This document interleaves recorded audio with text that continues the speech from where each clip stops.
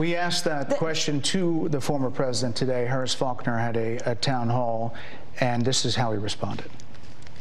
I heard about that. They, they, were saying I was like threatening. I'm not threatening anybody. They're the ones doing the threatening. They do phony investigations. I've been investigated more than Alphonse Capone. He was the oh, greatest oh gangster. No, it's true. We've no, but think question. of it. It's called weaponization of government. It's a terrible thing. So, Bret, I, I'm sorry, and with all due respect, that clip was not what he has been saying about the enemy within that he has repeated when he's speaking about the American people. That's not what you just showed. Well, he was asked no, about that no, specific... No, that's not what you just showed. In all no, fairness no, and respect you, to that you. was the question that we asked him. Uh, you didn't show that, and here's the bottom line. He has repeated it many times, and you and I both know that. And you and I both know that he has talked about turning the American military on the American people. He has talked about going after people who are engaged in peaceful protest. He has talked about locking people up because they disagree with him. This is a democracy. And in, in a democracy, the President of the United States, in the United States of America, should be willing to be able to handle criticism without saying he'd lock people up for doing it. And this is what is at stake, which is why you have someone like the former chairman of the Joint Chiefs of Staff saying what Mark Milley has said about Donald Trump being a threat to the United States of America. Bret Baier might have been under more pressure in his interview with VP Harris than she was. He had to carry their misleading narratives and hope to please the former president at the same time. But he didn't expect Harris to apply even more pressure over it. We have two enemies. We have the outside enemy, and then we have the enemy from within. And the enemy from within, in my opinion, is more dangerous than China, Russia, and all these countries. The thing that's tougher to handle are these lunatics that we have inside, like Adam Schiff, Adam Shifty Schiff. Think of this guy's going to be a senator. Adam Shifty Schiff, who's a total sleazebag, is going to become a senator. But I call him the enemy from within. I think the bigger problem is the enemy from within, not even the people that have come in and destroying our country. By the way, totally destroying our country. I think the bigger problem are the people from within. We have some very bad people. We have some sick people, radical left lunatics. And I think they're the and and it should be very easily handled by, if necessary, by National Guard, or if really necessary, by the military. You know, the worst thing about Fox trying to sanitize Trump's drumbeat of fascism in front of Harris is that they didn't even have to go back a week to that exchange, because he said it again in that women's town hall that Bret Baier was referencing. You know what they are? They're a party of sound bites. They're some, somebody asked me can they be brought together? You know, it was very, I never thought really, I wasn't thinking like they could, because they are, they're very, very different. And it is the enemy from within, and they're very dangerous. They're Marxists and communists and fascists, and they're sick.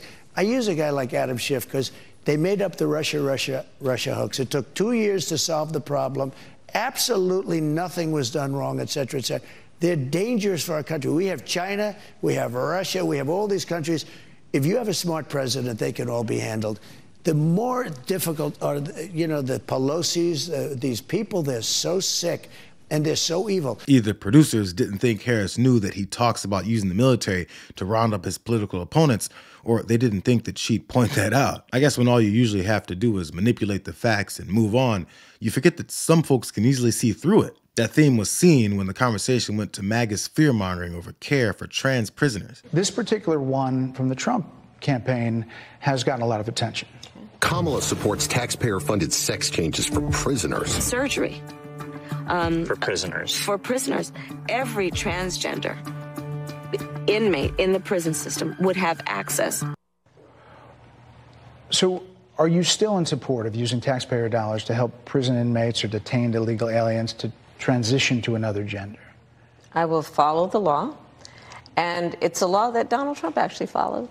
Um, you're probably familiar with now it's a public report that under Donald Trump's administration, these uh, surgeries were available to on a medical necess- necessity basis to people in the federal prison system. And I think, frankly, that ad from the Trump campaign is a little bit of like throwing you know, stones when you're living in a glass house. The Trump aides say that he never advocated for that prison policy and no gender transition well, surgeries you know what? You got to take responsible his, for what happened presidency. in your administration. Yeah, no surgeries happened in this preg- It's, presidency. it's in so, black and white. would you still advocate for using taxpayer dollars for gender reassignment I will surgeries? follow the law, just as I, I, But you have I think Donald Trump would say he did. You would have a say as president. You know, I do wish he didn't allow any room there for people to think that providing this kind of care for prisoners is abhorrent and that she just followed the law without really wanting to. But it was probably eye opening for Fox viewers to hear that the policy existed under Trump as well, highlighting that his anti trans rhetoric is simply to stoke the hatred that he needs to gain their support. He spent $20 million on those ads, trying to create a sense of fear in the voters because he actually has no plan in this election that is about focusing on the needs of the American people. Whereas, at $20 million on that ad, on an issue that, as it relates to the biggest issues that affect the American people, is really quite remote. And again, his policy was no different. Look at where we are, though. They say on plans for the but American we'll people. I'm offering a plan to deal with affordable housing. I'm offering a plan to deal with what we need to do to strengthen small businesses, which are the backbone of America's economy.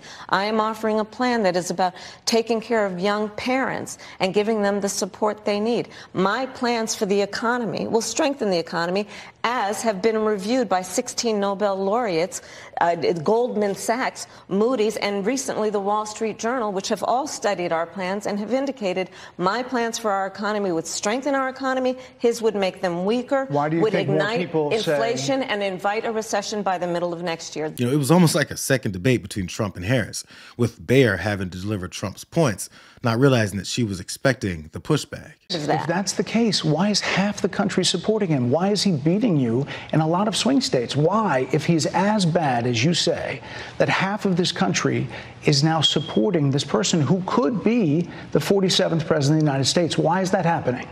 This is an election for president of the United States. It's not supposed to be easy. I know, but It's not it's supposed as, to be. It, it, it is not supposed to be a So cakewalk are they misguided, the 50%?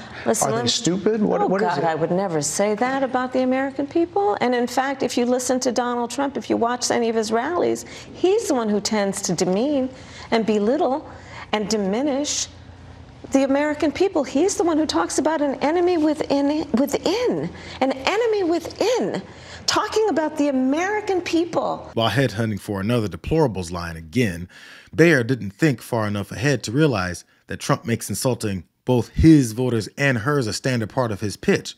You'd literally have to ignore everything he says to not know that he attacks anyone that doesn't agree with him. Have they not heard him reprimand Jewish folks to women voters about their getting their heads examined or something? It's hard to be outraged by offensive language when they celebrate not being politically correct when Trump tears into a bigoted tirade and his own running mate called him America's Hitler. Your campaign slogan is a new way forward, and it's time to turn the page. You've been vice president for three and a half years. So, what are you turning the page from? Well, first of all, turning the page from the last decade in which we've been burdened with the kind of rhetoric coming from Donald Trump that has been designed and implemented to divide our country and have Americans literally point fingers at each other. Rhetoric and an approach to leadership that suggests that the strength of a leader is based on who you beat down instead of what we all know. The strength of leadership is based on who you lift up. You- the strength of an Vice American President- president, which is one who understands that the vast majority of us have more in common than what separates us. Madam That Vice is President, more than turning the page. 70% of people That is tell about turning the page on rhetoric that people are frankly exhausted of, Bret. More than people are 70% of people- exhausted. It seemed like every time she illustrated that the proposed outrage over things like her campaign slogan were based in nonsense, he felt he had to interrupt to avoid Trump's truth social wrath. And it turns out he was pretty successful. Great job by Bret Baier in his interview with Lion Kamala Harris. She has a massive and irredeemable case of Trump derangement syndrome. So bad, in fact, that she's barely able to talk about any subject other than the man who had the best economy ever, the strongest border in history, and who just got the unanimous endorsement of the U.S. Border Patrol me. Their endorsement was a tremendous honor. They said that Comrade Kamala did a terrible job, the absolute worst in memory, and can't be allowed to do it again. She's also the worst vice president in history, but hopefully and soon be gone. Again, congratulations to Bret Baier on a tough but very fair interview, one that clearly showed how totally incompetent Kamala is. For the good of our nation, her inferior cognitive ability must be tested at once. So, congrats to Bret Baier. He got himself out of the doghouse with Trump after he and Martha MacCallum challenged him on Harris's quick jump in popularity. Still not sure how much headway the vice president made in this appearance on Fox News, though other than to show that she handles interviews focused on what her opponent sees as negatives much better than he does. I think this strategy from Harris was a Google strategy. She wanted Fox viewers to start to Google some of the things she was saying because some of the comments she was making in this interview are foreign to the Fox audience. For example, General Mark Milley saying Trump is a fascist to the core, that's barely been covered on Fox News. So she was able to get some of those talking mm-hmm. points in. This was the most adversarial interview Kamala Harris has probably ever done. Instead of getting to debate Trump again, she got to debate Bret Baier. And a lot of viewers are going to come away saying, wow, she's willing to do that. That's a sign of toughness and strength.